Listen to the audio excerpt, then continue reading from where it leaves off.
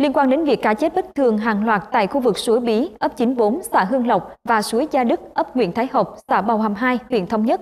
Như chúng tôi đã thông tin ở chương trình thời sự trước, huyện Thống Nhất vừa tiếp tục tổ chức đoàn đi khảo sát các địa điểm xảy ra tình trạng cá chết trước đó. Đây là địa điểm cửa xã nước mưa số 3 nằm tại khu công nghiệp dầu dây.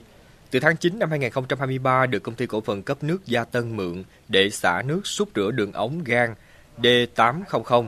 Từ cửa xã này, nước chảy theo hệ thống mương thoát nước chảy ra suối Bí thuộc địa bàn ấp 94, xã Hưng Lộc.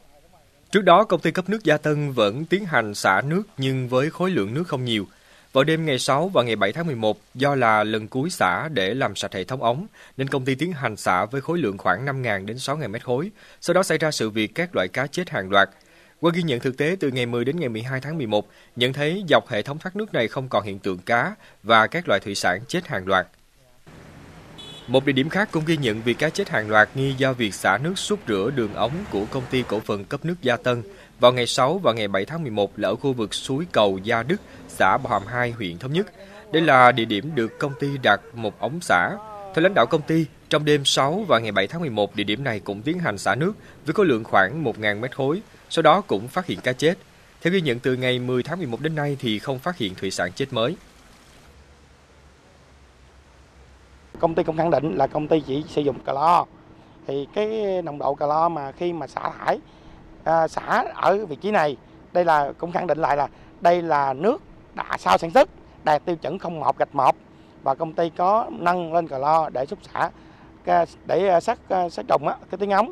Và xả ra môi trường thì cái mức cờ lo mà công ty kiểm tại thời điểm đó là khoảng 1 chấm à, 1 chấm 1.35 là theo cái tiêu chuẩn nước sạch và cũng như tiêu chuẩn xả thải ra môi trường. Đoàn cũng tiến hành khảo sát địa điểm cửa xả nước mưa số 1 của khu công nghiệp dầu dây thuộc địa bàn ấp 94 xã Hưng Lộc, không chảy ra suối Bí. Tại đây đoàn không ghi nhận hiện tượng các loại thủy sản chết. Lãnh đạo công ty cổ phần khu công nghiệp dầu dây khẳng định khu công nghiệp không xả nước thải ra môi trường. Cống xả số 3 là cống chuyên dùng để xả nước mưa. Hệ thống nước thải của khu công nghiệp không được đấu nối vào cống này. Còn nước thải thì được thu gom về khu xử lý nước thải của khu công nghiệp. Tại mỗi cổng xã đều có camera giám sát. Công ty thì uh, rất khẳng định là không có nước xả xả thải. Tại công ty lý do tại sao là vậy thì do là công ty có cái camera giám sát 24 trên 24 đặt ngay chỗ cái trạm cửa, cửa xả số 3 đó.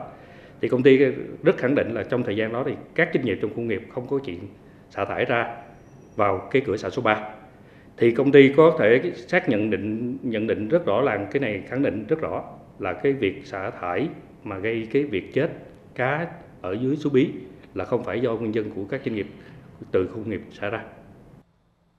Theo lãnh đạo khu công nghiệp dầu dây, khu công nghiệp có hai hệ thống nước thải riêng biệt là hệ thống thoát nước mưa đổ ra các cửa số 1, 2, 3 dẫn ra suối Bí. Riêng toàn bộ nước thải sản xuất phát sinh của các công ty trong khu công nghiệp khoảng 400 mét khối được thu gom về nhà máy xử lý nước thải của khu công nghiệp. Sau đó được xử lý đạt quy chuẩn mới đưa ra môi trường theo một cửa xã duy nhất nằm tại chân cầu suối Bí thuộc ấp 94, xã Hưng Lộc, Lãnh đạo công ty cổ phần khu công nghiệp dầu dây đề nghị các cơ quan chức năng hỗ trợ xác định chính xác nguyên nhân của sự việc để khu công nghiệp có cơ sở thông tin đến các doanh nghiệp đang hoạt động trong khu công nghiệp cũng như người dân và các cơ quan liên quan không để ảnh hưởng đến tình hình hoạt động chung của khu công nghiệp trong thời gian tới.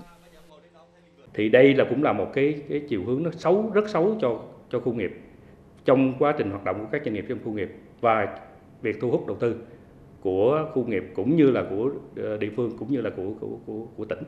Cũng mong muốn ờ, nếu phát hiện ra được cái cái cái vấn đề là ai xả thải cái này thì cũng đề nghị xác minh rõ. Và công ty cũng sẽ sẽ đề nghị cái cái cái cái cái cái cái, cái thông tin mà không đúng theo cái chiều hướng đó đề nghị cơ quan chức năng có xử lý.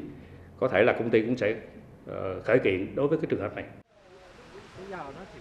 Trước đó như đã thông tin, từ chiều ngày 7 tháng 11 đến ngày 8 tháng 11, các loại thủy sản như cá, cua, lương, ốc chết bất thường tại suối Bí và suối Gia Đức Ngành chức năng huyện Thống Nhất sau đó đã đi kiểm tra, lấy mẫu nước ở các vị trí suối, cửa xã, đường ống để xét nghiệm các chỉ số môi trường.